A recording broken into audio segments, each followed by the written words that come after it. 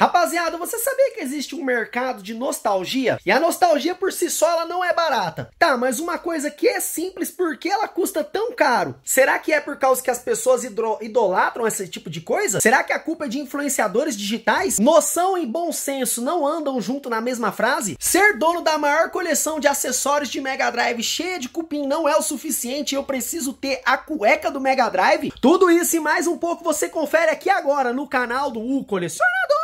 Rapaz, a fábrica de nostalgia é triste. Olha a notícia, Square Enix lança mini réplicas de console da SEGA. E caralho, sai da E aí você vê as réplicas de Mega Drive e de Sega Saturno são lançadas no mercado. E você deve estar se imaginando, isso é bom para quem é colecionador ou até mesmo para quem é entusiasta. O problema da nostalgia tá aí, pai, não é todo mundo que consegue comprar. Esse tipo de item não é para a massa. Ou você é colecionador, ou você é entusiasta, ou você tem muito dinheiro sobrando. Às vezes vezes a vontade fala mais alto, né? Ah, que demais. Parece loucura, mas para muitos apenas ter o videogame já é o suficiente. Colecionadores de tranqueira igual eu, tranqueira foi foda, hein? De Mega Drive igual eu, dão preferência em colecionar vários tipos de acessórios. Claro que a gente nem vai entrar no mérito dos jogos. Alguns itens são meio que exóticos, exemplo disso a cueca do Mega Drive. Agora é falando sério. Algumas pessoas pagariam uma bala né, por uma garrafinha do PlayStation 4 oficial. Nesse mundo de colecionismo, muitas das vezes a caixa vale mais do que o produto em si. E eu estou falando daquela caixa ainda que tá toda fodida, né? Porque a caixa que é zeradinha, essa sim, é instrumento de adoração. Parece loucura esse tipo de argumento, mas é isso que acontece no mundo dos videogames. Com uma notícia dessa, na sua opinião, quanto você acha que deveria custar duas miniaturas dessas? Se inscreve no canal e deixa seu like. Na minha opinião sincera, é um negócio que deveria custar no máximo, mas no máximo 30 reais. Estamos falando de nostalgia, borracha, e aqui a conta é mais embaixo. E no meu último vídeo, eu li todos os borrachas dos borrachas que comentaram se vale a pena investir em games retrô para vender lá na frente. E sim, vale a pena vale, mas aqueles itens que quebram ainda continuam valendo investimento, porque games retrô é investimento. Nenhum colecionador compra videogame querendo investir, porque aí no caso ele não é, é colecionador, ele é investidor. Rapaz, a situação do quarto tá nervuda. Só que assim, teve um borracha que ele me presenteou aqui no canal com esse mesmo item que eu apresentei. E ele tá aqui, ó, deixa eu mostrar para vocês aqui, ó. Ah, caramba, tá tudo aqui, ó. É os piu-piu do Mega Drive aqui, põe piu-piu do Mega Drive aqui, ó os Mega Drive Mini. Errei, Mega Drive Mini é esse aqui, ó. Os poderosos Mega Drive miniaturas. E olha só como eles são bonitinhos. Eles são muito bonitos. Eles são uma réplica idêntica, exata do original. E vale muito a pena você ter um desse na coleção. Vai lá, entusiasta, faz seu nome! E um dos detalhes que eu percebi é que eu tenho um Mega Drive japonês, Mega Drive 1 e tá faltando o Genesis.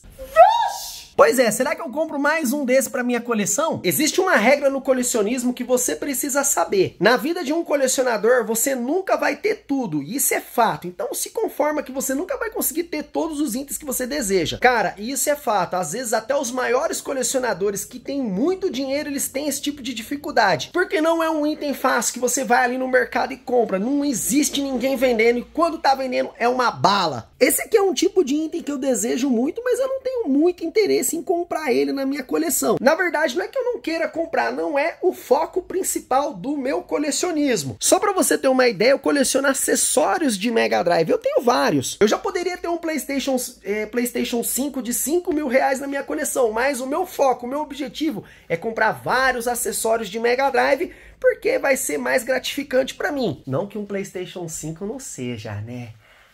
Mas como eu, eu, eu, ganhei esse aqui de um borracha, eu vou guardar ele com muito amor, muito carinho. É claro, quando eu arrumar o quarto, eu vou pegar fazer um cantinho especial só para ele. É, pai, essa é a nostalgia da fé. Quanto você acha que custa uma miniatura dessa? Vamos ler a notícia? E olha que legal, Square Enix também vem investindo em uma, re...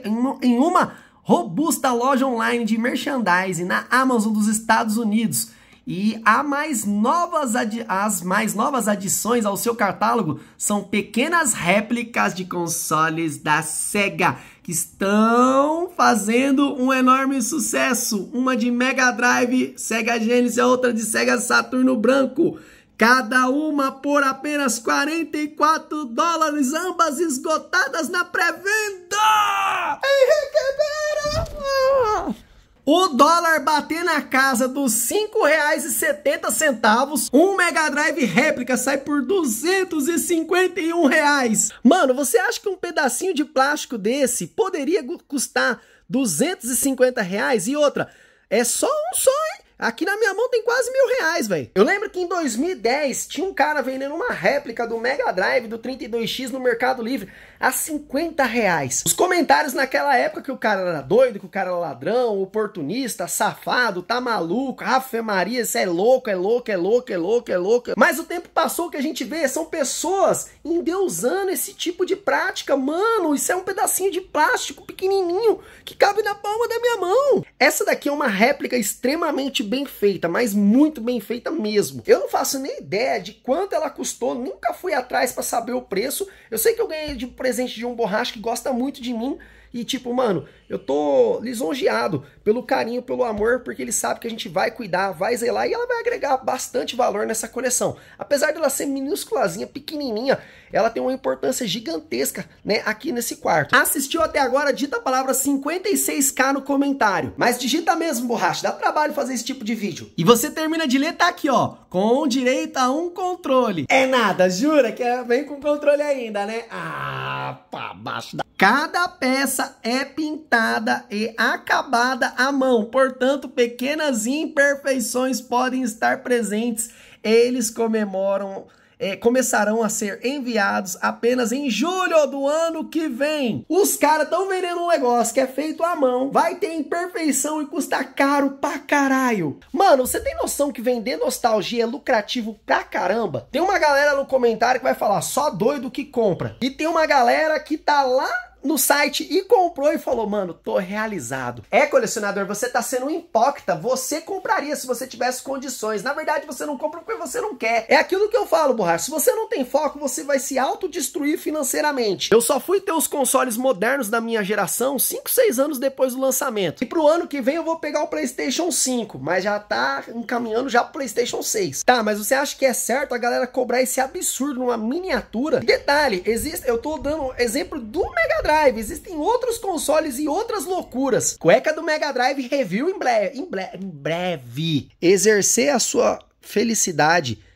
perante a nossa existência é um direito que todos nós temos, mas muitas das vezes a gente é taxado de otário. A indústria dos games, ela trabalha com nostalgia e ela sabe que a nostalgia, ela tá aqui nos nossos corações. Você concorda comigo que muitas das pessoas que estão aqui visualizando esse vídeo, assistindo ele, gostariam de ter esse item em casa? Afinal de contas, quem que não gostaria de ter um item desse? Ele é muito bonitinho. Imagina se a gente vivesse num mundo onde um determinado item desse custasse apenas 10, 12, 15 reais aqui no Brasil. Certamente todos os meus inscritos teriam pelo menos uns dois de cada e de todos os consoles existentes. É como se fosse carrinho Hot Wheels, né? Seria videogame Hot Wheels. Mas não dá, pagar 44 dólares. E detalhe, eu não, eu não somei o frete, eu não somei dois meses de entrega, eu não somei imposto. Eita cuzão, mano! Durante muito tempo, os videogames me consumiram. E de um tempo pra cá eu acordei pra vida. Eu comecei a falar não pra muitas pessoas. Olha, esse eu não tenho condições de comprar. Não, mas vai fazer falta na sua coleção. Minha coleção que lute, pai. Eu não sei vocês, mas eu, antes de eu ser colecionador, eu sou um jogador. E eu prezo mais estar jogando do que estar colecionando. Colecionar é um estilo de vida. Nem sempre dá certo. Esse daqui, eu faço questão de registrar o meu quarto gamer nessa situação para vocês verem a dura realidade do colecionismo.